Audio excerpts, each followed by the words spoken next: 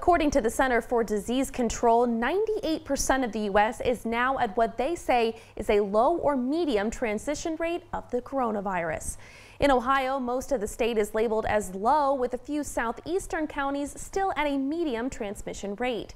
Here in Allen County, we are a low transmission rate with a current seven-day case rate of 32 per 100,000 persons. In mid-January, there was a high of 1,636 cases. With the numbers now so low, Allen County Public Health is changing the frequency that they report the information, but they are keeping an eye out for changes.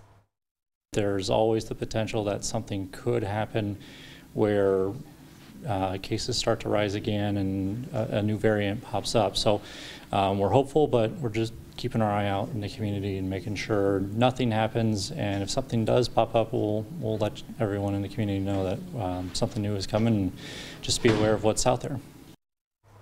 Health officials just want to remind people to wash and sanitize your hands as what we've been doing to try and stop the spread is working. If you do show symptoms, be sure to mask up.